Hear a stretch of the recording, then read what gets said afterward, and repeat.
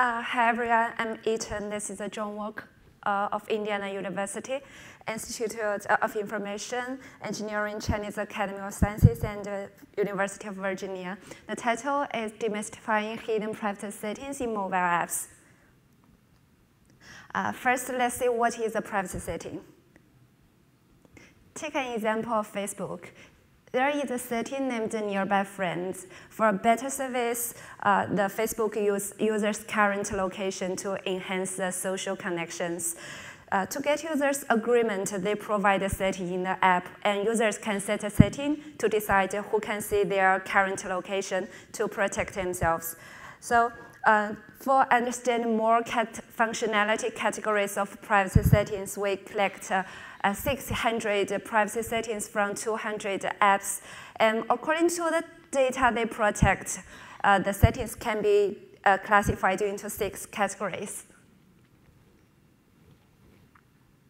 Uh, the first one, on-device data such as do you share contacts with Wickr? The second one, about users' personal profiles such as show age on your profile. And the third, users' social connections, such as ask users who can see your friend list. And fourth, users' behavior, such as don't show my listening history to my friends in the um, musician app. And um, fifth, users' posted content, such as who can see my diary.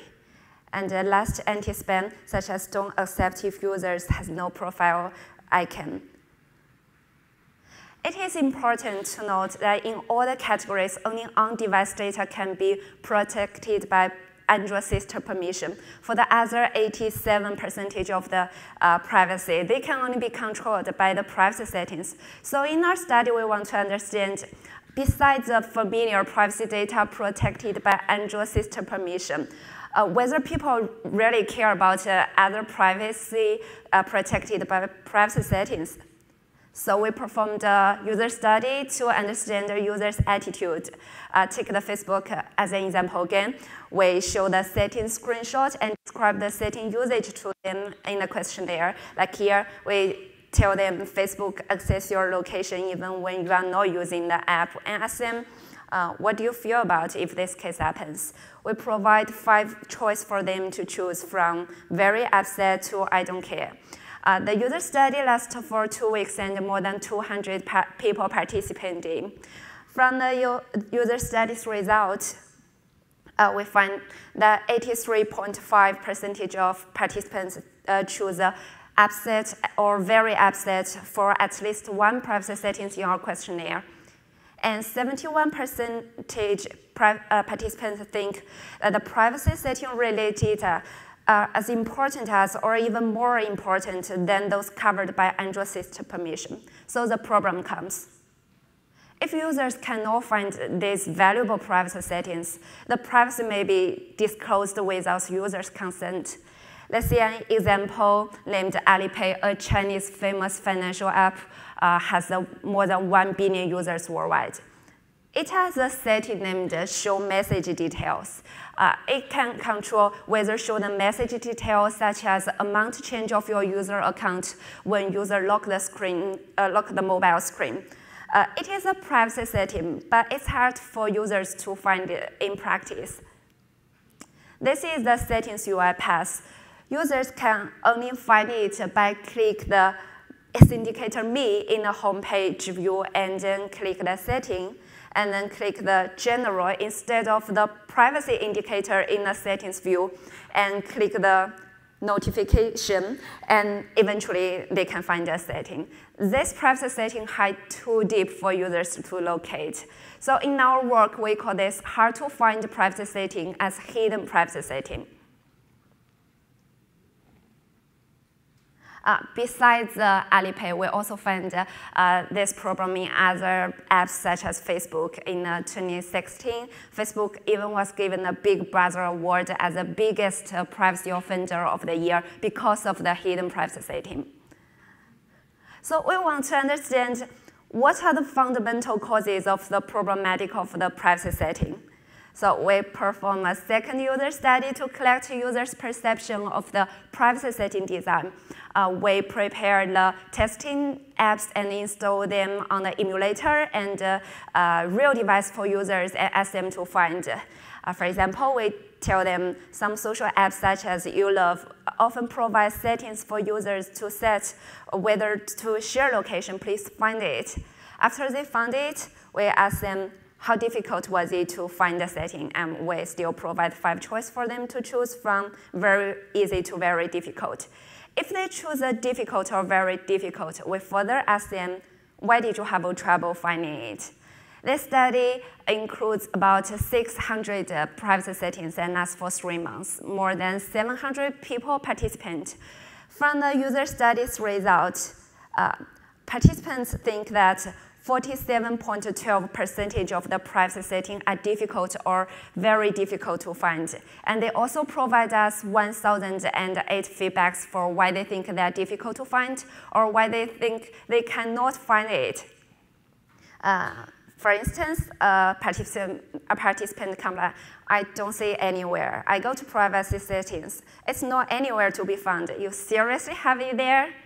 So uh, we summarize settings, and uh, we find the root causes of hidden privacy settings can be classified to uh, two categories. The first one, when the privacy setting design violates a user's habit.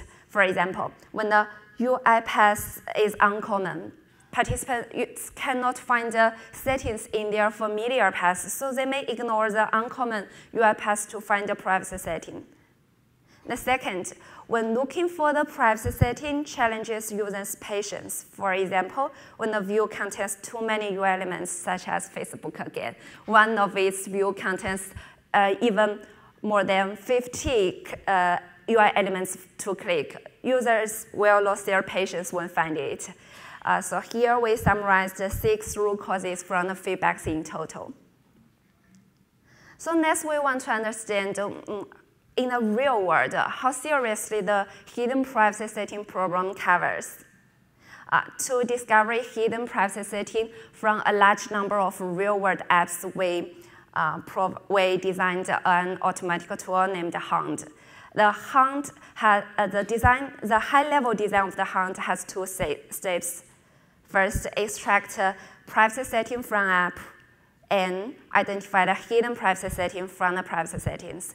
Each step contains a key classifier.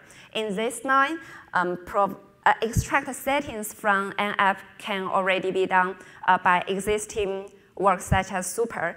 So the key of the Hound here turns to how to design suitable features for the two classifier. For the, class, for the first classifier, we use a TF-IDF of each word in the setting text description to design the features. The TF-IDF can reflect how important a word is to a document. And in our work, we use it to reflect how important a word is to a privacy setting description. So in our work, uh, we model each setting text de uh, description with a high-level dimension feature vectors each dimension responding, uh, each, res each dimension represents a word in a word bank. If a word in a sentence, the corresponding dimensions value is a word TF-IDF. Otherwise, the dimensions value is zero.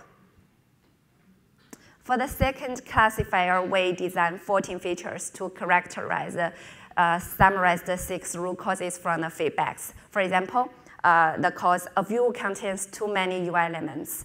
We count the number of the UI elements in a view placed in a privacy setting as a feature 9, and we also calculate a percentage of the privacy setting in the view uh, as a feature 10, since in a, uh, a user study, some participants complain that privacy setting and other general settings mixed together, it's hard for them to single out a target one.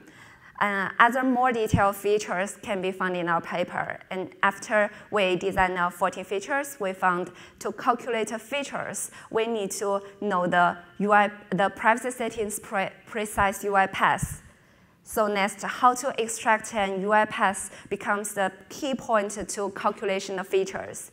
One may think dynamic of uh, one may think of dynamic analysis, but this approach is time-consuming and can only extract a limited number of UI paths as we know. So in our work, we use a static uh, uh to we, we statically extract it, but it's still challenging due to the complexity of the layout design and the limitation of Java language static analysis, such as how to deal with inheritance.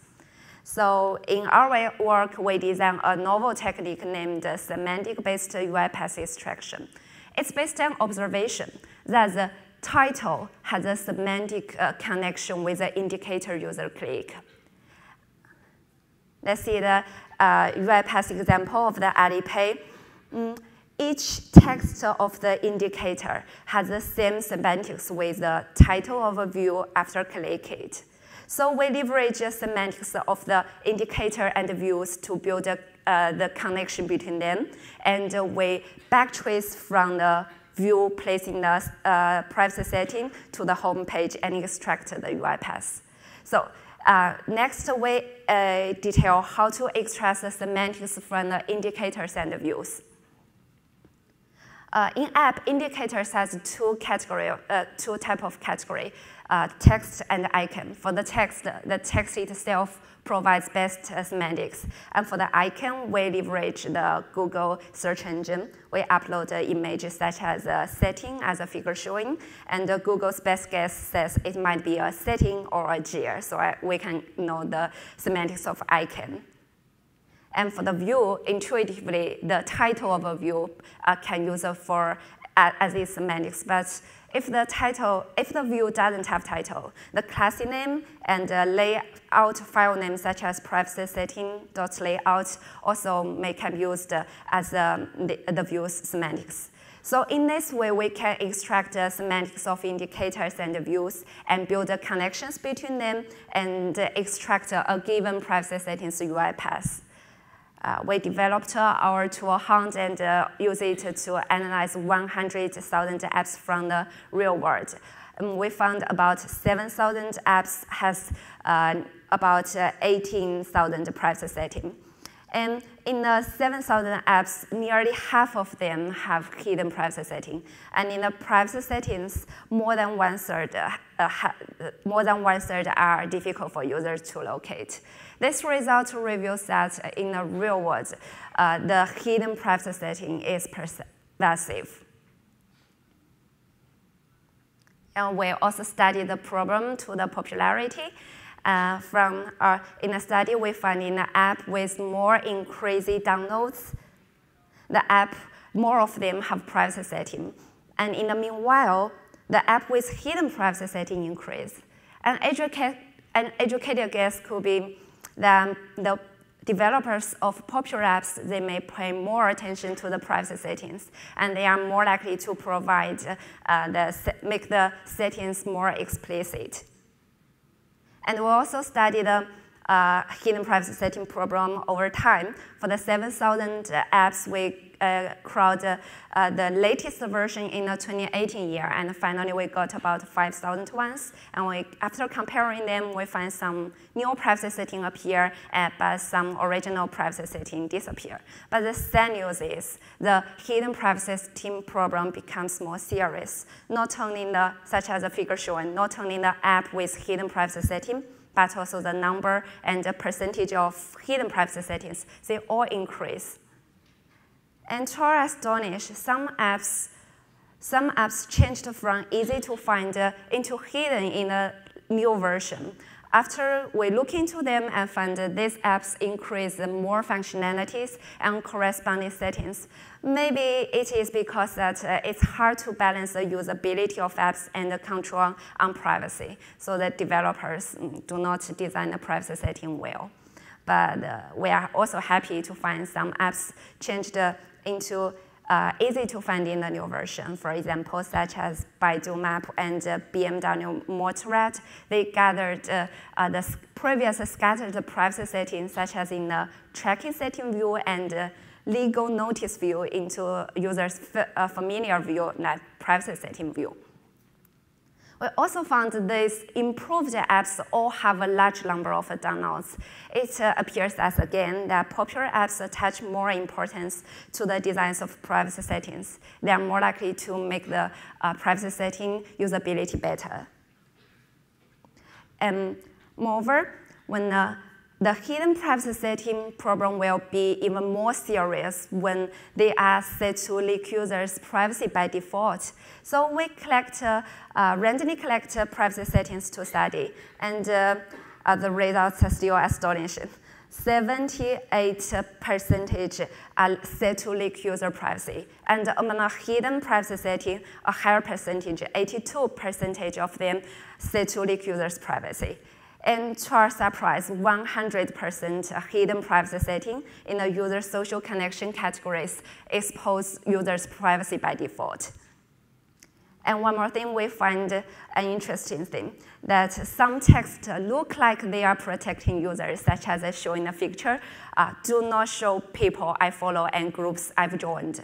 But the switch, uh, the setting is switched off by default. So in fact, the privacy exposed uh, we, in our, we, in our randomly selected uh, privacy setting data set, we find that more than 20 percentage of them has this problem. So users may just leave the setting there and do not change the switch's default status, and they may leak their um, privacy without any consent.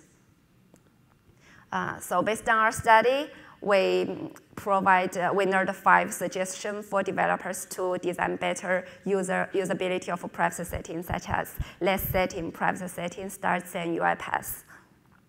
And finally, let's conclusion, uh, let's um, summarize our conclusion. Uh, in our study, we have new understanding of hidden privacy setting. We summarize the potential causes of, of hidden privacy setting and uh, the significant impact in the real world. And our work can help, um, it can help uh, design better uh, usability of privacy setting and enhance the protection of the user protection. And we also uh, provide a new technique to automatically discover hidden privacy settings. We developed a Hound, and it helps us do a large study in the real world. Thanks for your listening. Welcome question.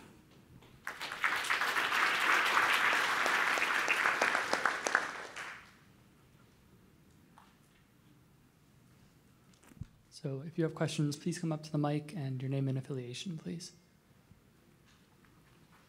Hi, Brian Mastenberg, Western Digital. Did you evaluate how many of these applications were available on a European app store or were otherwise from vendors that would be subject to GDPR? Uh, uh, sorry, could you please repeat again? So I, I, think many of the settings examples you show would potentially violate the European GDPR regulation. And so I'm wondering how many of these examples were applications that were potentially subject to GDPR. Maybe the more popular applications that seem to be cleaning up their privacy settings were doing so for compliance reasons. Yeah, uh, we, we uh, after we analyze the app and we evaluate these uh, settings by another user study. So we, uh, we, we hired um, 200 people to evaluate the settings we, the hidden privacy setting we discovered. Yeah. Okay. Any other questions? So I have one, I guess. Uh, so with your reviews, you were doing a lot of uh, user feedback on, you know, this is hidden. Were there anything surprising in terms of what users actually liked in privacy settings? Can you invert the analysis to say these are the best practices that we found from users? Sorry. Uh, you focus mostly on hidden privacy and things that users found to be confusing or difficult to find. But yeah. the inverse, you could also say, like, what was good to users? What did they actually find was helpful with privacy settings from the surveys that you ran? Yeah. Ah. Uh, uh, sorry.